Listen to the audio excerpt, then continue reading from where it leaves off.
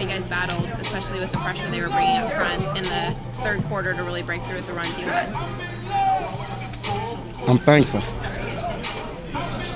Talk about your performance in the second half, the big run. I'm thankful.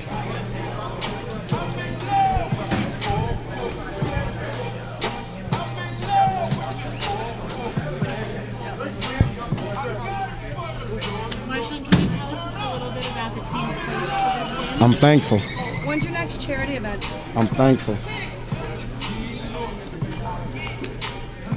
Anything else? Sean, talk about the celebration dance at the Kam Chancellor's touchdown.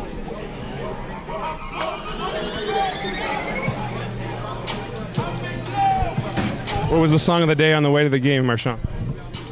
I'm thankful.